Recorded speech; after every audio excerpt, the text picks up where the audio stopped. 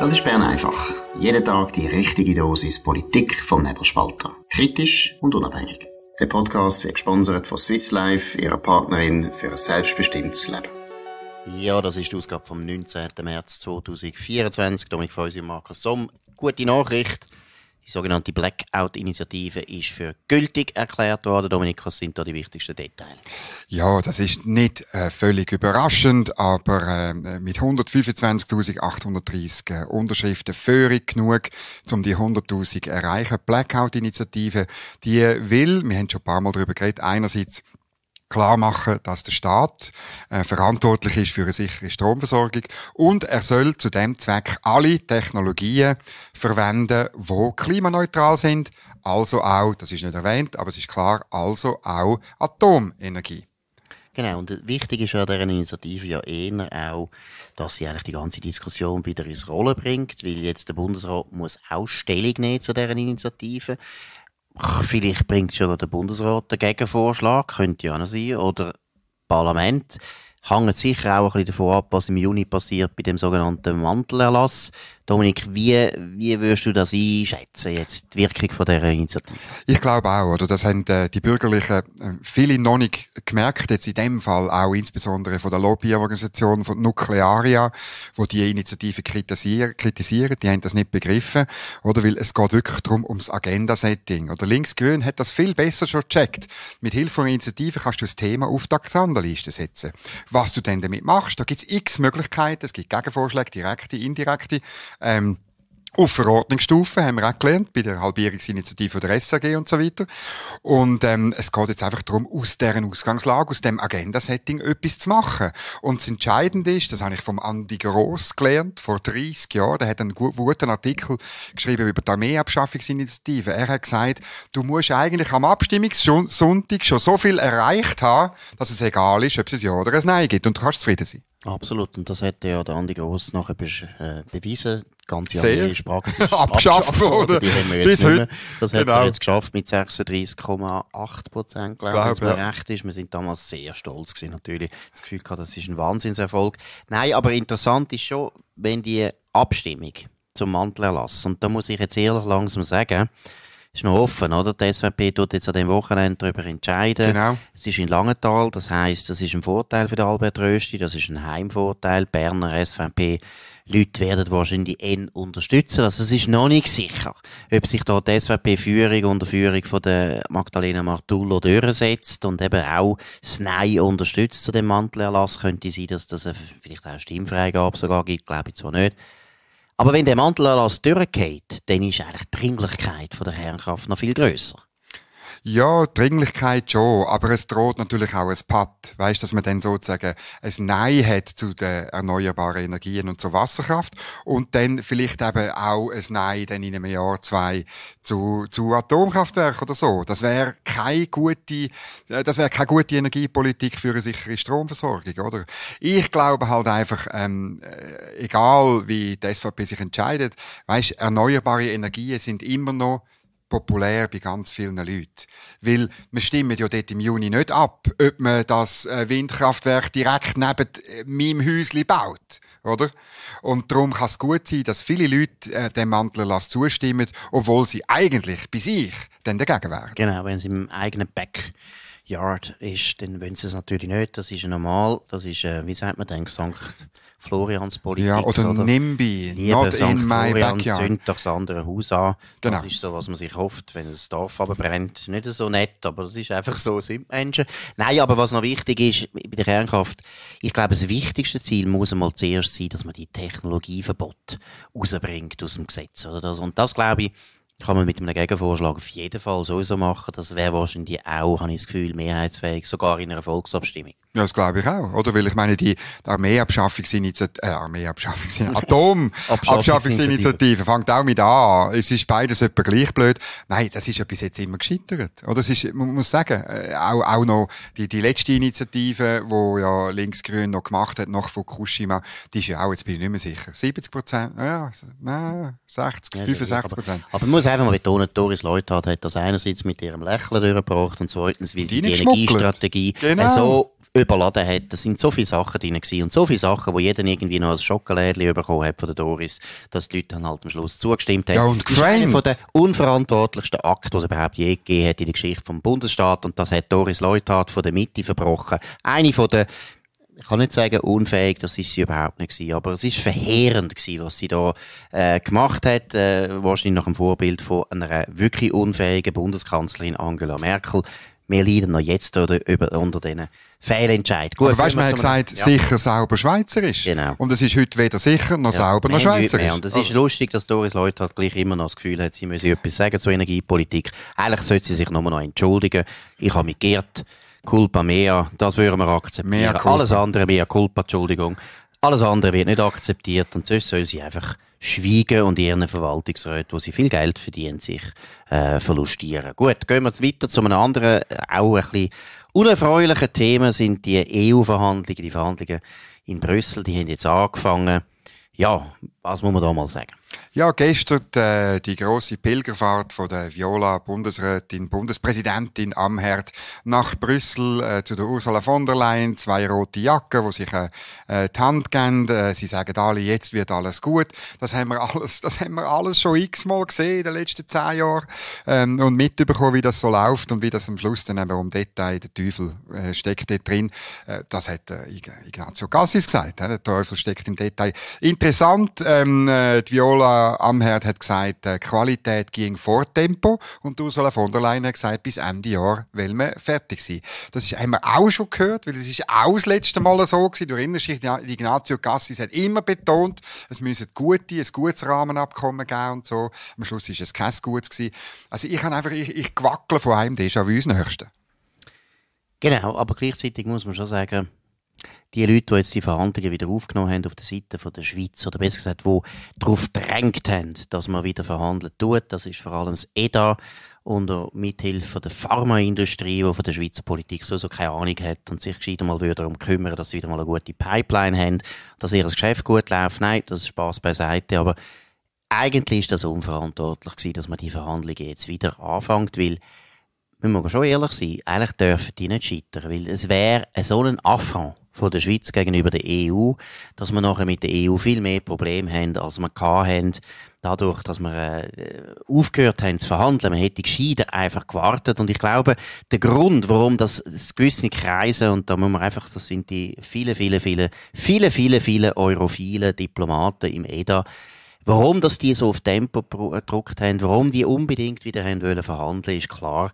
Sie haben natürlich gemerkt, dass die Leute sich daran gewöhnen, dass es gar nicht so ein Problem ist, oder? Die sogenannte Erosion, wo der Davenir Suisse, so ein trauriger neurophiler Verba Verband ist, die ganze Zeit uns hat wollen aufzeigen. Es stimmt eben nicht. Die Rahmenverträge, oder besser gesagt die bilateralen Verträge sind ein Erfolg, die funktionieren.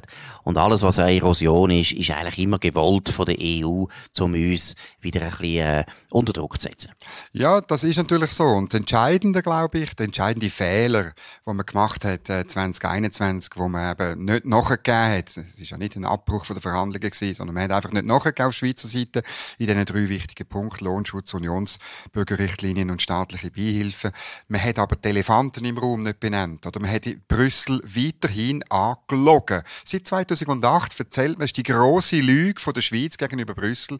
Seit 2008 sagt man, ja, das ist alles kein Problem mit der Streitbeilegung und der äh, dynamischen Übernahme von EU-Recht. Und man hat es auch 2021 nicht so sagen. Man sollte Brüssel endlich mal reinen Wein schenken und sagen, wir können, wir wollen das nicht, wir können das nicht. Oder? Also ich finde, du hast völlig recht, aber wir haben das schon mal besprochen. Ich meine, die haben einen Botschafter in Bern.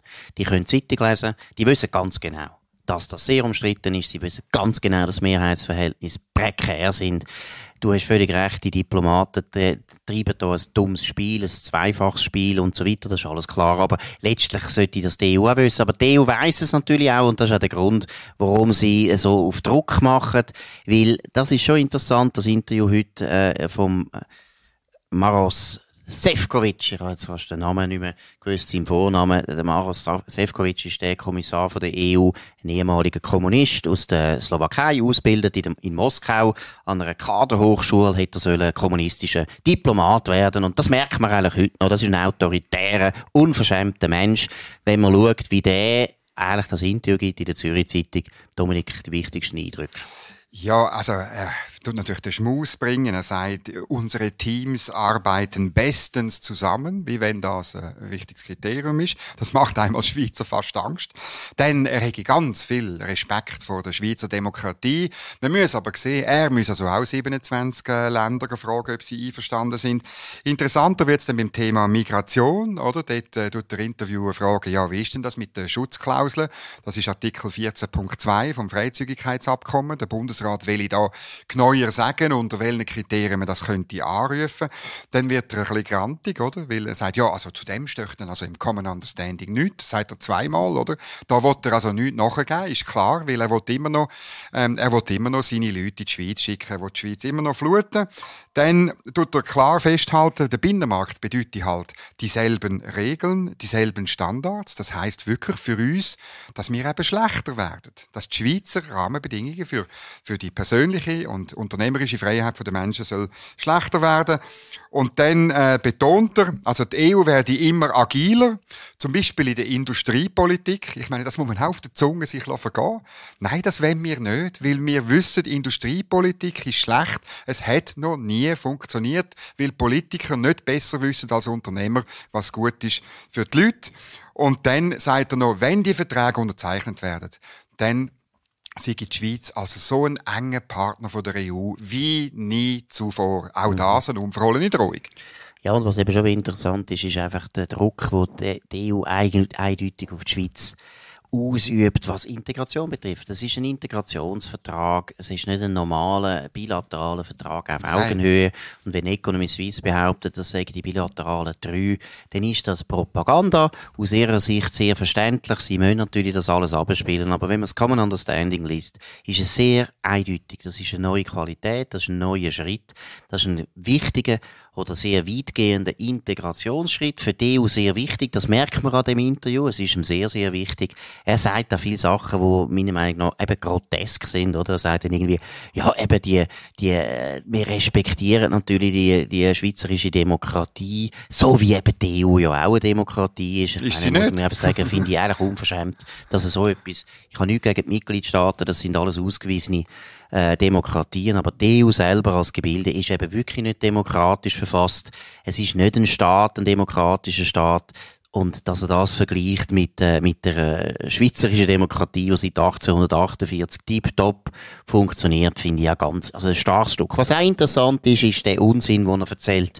Ja, Grösse sei halt jetzt wichtig in der geopolitischen Lage heute. Dann habe ich gedacht, ja, du kommst aus der Slowakei. Slowakei hat einmal zu Österreich-Ungarn gehört. Österreich-Ungarn ist riesengroß. Ist das ein Erfolgsgeheimnis? Ist denn das ein Erfolg für die Leute, die in Österreich-Ungarn gelebt haben? Glaube ich nicht. Das ist so ein absurdes Kriterium und auch ein Kriterium, wo wir gerade als Kleinstaat, wo seit langer, langer Zeit sehr erfolgreich sind, eigentlich müssen zurückweisen. Die Zürich Zeitung hat dort ein bisschen, finde ich, ein bisschen zu wenig nachgefragt, was das soll heissen. Weil das sind alles so Plattitüden, wo, du hast es erwähnt gestern, wo wir über die Arena geredet haben, oder? Was wirklich peinlich ist bei diesen Befürwortern von diesen, von diesen Abkommen, ist einfach die Dichte, Dichte von Plattitüden, von Banalitäten, von Trivialitäten, von Unsinn, wo die behaupten. Und sie gehen nicht in Detail ein, wie letztlich kann man eben das nicht so richtig verteidigen. Ja, das ist natürlich so. Er bringt noch etwas anderes. Er redet davon, dass die Schweiz dann bei den Entscheidungsgremien dabei ist. Das ist meines Wissens jetzt nicht der Fall. Und ähm, äh, jetzt kann man sagen, ja, das ist illusorisch, dass die Schweiz in den Entscheidungsgremien von der EU dabei sein wird. Ähm, ich würde ihn beim Wort nehmen. Ich hoffe, der Bundesrat oder unsere Verhandler sagen äh, ähm, Herr Schostak, das ist äh, zwei Stufen unterhalb von Herrn Sefcovic, du, dein Oberboss hat dann gesagt, wir sind dabei, weil das, da würde mir besser gestellt, dass die EWR-Staaten, das völlig absurd, wir sind höchstens in irgendwelchen Expertenrunden dabei und in einem Vernehmlassungsverfahren, also dort wird viel zu viel versprochen. Und was auch noch lustig ist in dem Interview, der EuGH, der Gerichtshof der EU, der kommt gar nicht vor in dem, in dem Interview, weil das ist einer der grossen Streitpunkte. Und da könnt ihr ähm, in einer Stunde am 6. Ähm, auf nebelspalter.ch etwas Interessantes lesen, weil letzte Woche hat der EuGH, der Supreme Court vom Vereinigten Königreich, ähm, in Senkel gestellt und Großbritannien, also das Vereinigte Königreich, verurteilt, weil sie in einem Schiedsgerichtsfall gegen EU-Recht verstoßen haben. Du musst dir das einmal vorstellen. Und wenn der EuGH, der British Supreme Court, ins Enkel stellt, dann wird er ganz sicher auch das Pseudoschiedsgericht, wo wir dann vielleicht in den Rahmenverträgen werden haben, ins Enkel stellen. Genau, das ist ja nochmal möglich gewesen, weil leider, leider die Engländer äh, ein dummes Abkommen, ein dummes Abkommen geschlossen Genau. haben, wo sie wegen Nordirland sich ein bisschen Boxhorn jagen lassen haben. Das ist der Schlüssel gewesen, den die EU hatte, um äh, im Prinzip immer noch äh, äh, äh, eigentlich einen Fuß in der Tür zu behalten, was Großbritannien betrifft. Gut, gehen wir zu einem anderen unerfreulichen Thema. Das ist der Martin Sellner. Ich muss jetzt mal ehrlich sagen, ich habe zu wenig bis jetzt gelesen, was der Mann alles behauptet hat. Es wird ganz Schlimmes von ihm gesagt. Ich weiß es nicht. Ich muss jetzt zuerst einmal nachlesen, was er gesagt hat. Aber was ich kann beurteilen ist, ich finde es schon sehr komisch, was die Kantonspolizei Aargau gemacht hat, wo der Martin Sellner, ein konservativer, rechter, andere sagen rechtsextremen Österreicher, der hat etwas sagen in der Schweiz und ist verhaftet worden. Dominik, was sind da die Einzelheiten? Ich sehe das ähnlich wie du. Also die, so die österreichische äh, rechtsextreme Szene, die ist ganz grusig, die ist ganz blöd, äh, komplett hirnfrei ähm, und so. Aber darum das geht's ja nicht, das ist nicht der Punkt. Der Typ, der soll können sein, sein Zeug ver, verzapfen bei irgendwelchen komischen, ähm, äh, nur noch Halbschweizer, äh, wo sich da so gebärdet. Ähm, wir sind ein freies Land, der dürfte das sagen. Weil es ist, die Aktion ist komplett in die Hose gegangen. Er hat nämlich daraus dann viel mehr Öffentlichkeit für seinen Schwachsinn bekommen, als er äh, bekommen hätte, wenn es eigentlich um die Sache gegangen wäre von dem Blödsinn, den er erzählt. Und darum, es ist, nur schon wegen dem ist es ein Fehler, dass man den ähm, aus dem Kanton Aargau, dass man den gepäckelt hat und äh, rausgeschmissen hat. Ja, und das Zweite muss man auch noch sagen, es ist, eine, ich meine, es ist ein unglaublicher Double Standard. Ich meine, wir lassen Hamas, Hamas-Freunde demonstrieren, die dürfen die Vernichtung von Israel und die Genau. Vernichtung von den Juden propagieren. Das finden wir nicht so das Problem, das kann man ja diskutieren, oder? Oder auch, wir lassen da unsere Klimaidioten sich festkleben auf der Straße. System Das ist change doch auch noch interessant, was die da zu sagen haben. Und das ist alles Schrott, das ist der gleiche Schrott, wie die Rechten oder die Rechtsextremen erzählen. Aber letztlich wollen wir eigentlich wissen, was für Schrott die erzählen. Das ist viel besser, weil sie denken ja sowieso, der Schrott sei richtig und dann sollen sie es doch auch sagen. Das ist das Erste. Und ich meine, es ist für die Schweiz eine alte Demokratie, wo Heimatsterne Pressefreiheit eigentlich seit, ja, seit der helvetischen Zeit sogar kennt hat, wobei die Franzosen eben Pressefreiheit unter den Franzosen ist dann auch ein bisschen ambivalent gewesen. Sagen wir 1830, wo sehr viele äh, Kantone Spätestens. liberal geworden sind. Appenzeller Zeitung, oder? Wir Pressefreiheit gehabt in der Schweiz. Wir müssen uns nicht schämen für unsere Meinungsfreiheit. Und dann, Kopfverdeckelt, kommt da eine Polizei, eine übereifrige Aargauer Polizei und tut da jemanden verhaften, wo irgendetwas sagt, wo irgendjemandem nicht passt. Peinlich, peinlich geht so weit, dass ein Elon Musk das sogar äh, festgestellt hat und nachher fragt, ob das legal ist. Man muss sich ein bisschen schämen für das Land, das ist nicht gut. Und man muss sich schämen für ein Land, wo Gott verdeckel ein Vollidiot hat wollen daran hindern am Reden. Lönt doch jeder Idiot etwas sagen. Wir haben so viele linke Idioten, da können wir auch rechte Idioten anlassen. Gut, wir kommen auf ein ganz ein wichtiges Thema, wirklich. Und das ist auch eins, was mich eigentlich am meisten äh, heute beschäftigt hat. Das ist der ja, wie sagen das, Seppi-Tag oder Seppli-Tag, also der Sankt Josefstag genau. ist heute und es zeigt wieder mal, tut alle Vorurteile bestätigen, die Innerschweiz tut vor allem Viertig pflegen. Dominik. Ja, natürlich, oder? Also, in der, in der echten Innerschweiz ist heute ein Viertig, ähm, äh, und dann auch noch im Wallis und im Tessin. Also, ich sage, äh, Nidwalden und Schweiz und Uri. Obwalden ist nicht mehr in dieser Liste. Ich weiß auch nicht, die sind wahrscheinlich, die sind wahrscheinlich irgendwie ausgeschert, habe keine Ahnung. Das ist wahrscheinlich schon in der Helvetischen Republik passiert, wo sie ja auch Nidwalden im Stich gelassen haben. Ja, die Scheibe. einen Aufstand gemacht haben. Also- Jetzt denkt wir den Seppi-Tag auch noch abschaffen. Genau. Und äh, offenbar gibt es einzelne Gemeinden in Graubünden, Luzern, Solothurn und Zug. Also dort ist die Hoffnung noch nicht ganz verloren. Es ist ein wichtiger Tag, äh, nicht nur weil mein Vater Josef heißt, weil äh, hätte man dann können, hätte er können ein Dessert Mein wählen. Vater der zweite Name. Also Edwin Somm. Ja. Edwin Josef Somm. Ja, siehst du, eben, also, ja, hat, da musst du mal so gratulieren. Nein, und dann, ich weiss einfach von Küss nach dem Rigi, es gibt aber auch an anderen Orten, da gibt's wirklich Josefsvereinigungen. Und ähm, du musst dort zum Beitreten, musst Josef oder Josephine heißen. Und die haben immer... Sepp. Oder Sepp geht auch. Ja gut, aber der Aufname ist natürlich Josef, oder? Und dann die Generalversammlung haben die, die, die, eigentlich machen die nur eine Generalversammlung und vielleicht im Sommer mal einen Ausflug auf, auf Moorgarten oder auf, vielleicht auf Obwalden. Ja, sehr gut. Und äh, Generalversammlung ist natürlich am Seppi-Tag, das ist ganz wichtig. Und ähm, ich weiss einfach, zu Küsnach machen sie jedes Mal an der Generalversammlung den gleichen Witz. Der Wirt kommt rein und sagt, ist das Telefon für den Sepp, oder? Und dann können irgendwie 20 Hände auf und sagen, für mich, für mich, für mich. Gut, da sieht man einfach, die Innerschweizer haben Humor. Das ist super. Nein, heisst eben Seppi-Tag, nicht Seppli. Nein, was Seppi. ist, du, äh, nein, also das ist ja verhunzig, Markus. Also, der Seppi-Tag. Der Seppi-Tag. Aber wichtig ist, die haben wirklich frei, ja? Die arbeiten nicht. Ja, das ist einfach dass so ich schaffe, nicht. dass so ich geht's nicht. Kein Wunder haben die nicht industrialisiert im 18. Jahrhundert. Jetzt den ganzen Tag. Der Josefstag und der Dominiktag und der Markustag und ich weiss nicht, du musst ja nicht mehr arbeiten in der Innerschweiz. Ja, nein, du bist halt natürlich Transzendenz, bist am Arbeiten. Du schaffst an deiner, Ja, an gut, deiner. Erleuchtung, weißt Ja, das stimmt. Also im gehört Himmel, auch ein Gottesdienst- Himmel- Gottesdienst gehört auch dazu. Ja, ja, genau. Himmel kommt man natürlich eher Aber in die Industrialisierung kommt man nicht. Wenn man arm ist, kommt man so eher in den Himmel als der Reiche. Eher ein Kamel. Katholiken das immer richtig sehen.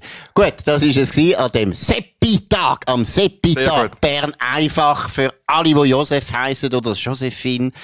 Speziellen Gruß an euch. Gratuliere zu dem wunderschönen Namen, meine ich ernst.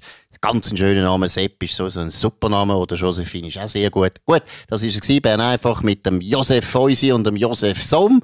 Und ihr könnt uns abonnieren auf nebelspalter.ch oder auf Apple Podcast oder Spotify und so weiter. Könnt uns weiterempfehlen. Würde uns freuen. Könnt uns hoch, hoch, hoch, hoch bewerten. Wir hören uns wieder morgen zur gleichen Zeit auf dem gleichen Kanal. Was ist denn morgen für ein Tag? Oh, das weiss ich nicht. Hast du mich, hast mich verwünscht? Wahrscheinlich Pankreas oder Ja, ja, ja, irgendwie. nicht Wallis, was Wallis, Pankreas. das Wallis darf ausrufen oder Solothurn. Wir können jetzt- Irgendein Katholik darf man, darf man auch ausrufen. Wir können jeden Tag jetzt äh, die, die, die, die, katholischen Heiligen noch bei Bern Da einfach integrieren. da wäre gut. Bitte tönt berichten und alle, die dann nachher die katholischen Heiligen nehmen, Können wir das Abo hey, die 50% kommen das Abo über. genau. Gestiftet vom Papst. Gut, danke vielmals und bis bald. Das war Bern einfach, gesponsert von Swiss Life, ihrer Partnerin für ein selbstbestimmtes Leben.